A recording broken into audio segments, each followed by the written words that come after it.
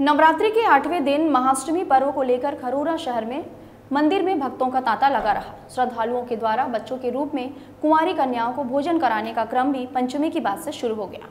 खरोरा में नवरात्रि में श्रद्धालुओं का मंदिरों में देवी दर्शन करने के लिए तांता लगा रहा। घरों में भी माँ दुर्गा की आराधना का दौर चला।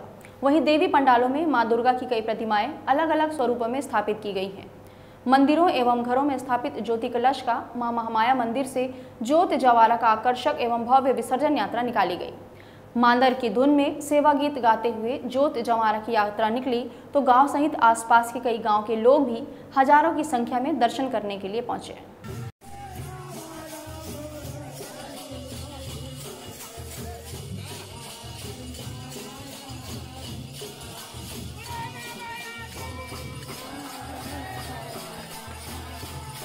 Mm-hmm.